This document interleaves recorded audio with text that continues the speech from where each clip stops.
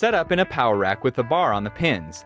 The pin should be set to the desired point, just below the knees, just above, or in mid-thigh position. Position yourself against the bar in proper deadlifting position. Your feet should be under your hips, your grip shoulder width, back arched, and hips back to engage the hamstrings. Since the weight is typically heavy, you may use a mixed grip or a hook grip, or use straps to aid holding the weight. With your head looking forward, extend through the hips and knees, pulling the weight up and back until lockout. Be sure to pull your shoulders back as you complete the movement. Return the weight to the pins and repeat.